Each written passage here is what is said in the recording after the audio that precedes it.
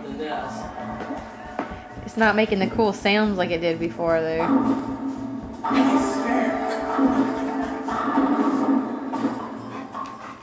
He is just He's enthralled. totally enthralled.